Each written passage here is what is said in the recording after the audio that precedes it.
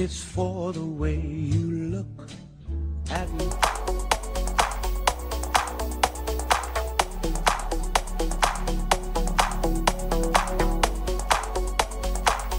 Hola, soy Carla y esto es Secretos de los Famosos. Tras supuesta infidelidad de Tommy Motola, Thalía se reencuentra con Eduardo Capetillo. Hace unos días circuló en redes sociales la noticia de que Tommy Motola fue visto con la peruana Leslie, de acuerdo con Ernesto Buitrón, periodista de Televisa. Esto es cierto y abundó en ello en el programa de Magali Medina. Hasta el momento, ni Tommy Motola ni Thalía se han pronunciado al respecto, pues no es la primera vez que son víctimas de este tipo de comentarios y pareciera que ya no le dan importancia ni invierten su tiempo en aclarar las especulaciones. Ahora, el pasado 27 de diciembre del 2021 se llevó a cabo el 25 aniversario de la telenovela Marimar, que fue estelarizada por los cantantes Thalía y Eduardo Capetillo. Ante ello, los actores, quienes también fueron compañeros cuando formaron parte del grupo Timbiriche, decidieron realizar un enlace en vivo para recordar cómo fue compartir escenas en la mencionada telenovela. Sin embargo, el esposo de Bibi Gaitán no se imaginó que la también actriz y cantante Thalía lo pondría en evidencia y daría a conocer el berrinche que hizo durante una de las grabaciones. Todo inició cuando Eduardo Capetillo, quien interpreta a un futbolista, luego de prepararse con un jugador profesional, le pidieron hacer una tijera para una de las escenas. Tras varios intentos, logró que saliera perfecto y entonces se dio cuenta que no habían captado en video su ejecución, por lo cual le hizo estallar en furia para que yo hiciera se le llama una media tijera. Esa media tijera que estaba en la entrada, créditos iniciales de la telenovela, explicó durante la conversación que realizó en el canal de YouTube de Thalía. Te costó porque te raspaste. Yo me acuerdo que hiciste un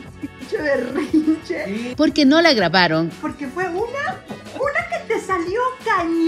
Muy bien, y no sé por qué el camarógrafo no lo grabó, recordó Thalía durante la conversación. El cantante de Con todos menos conmigo aseguró que Eso sí no me acuerdo.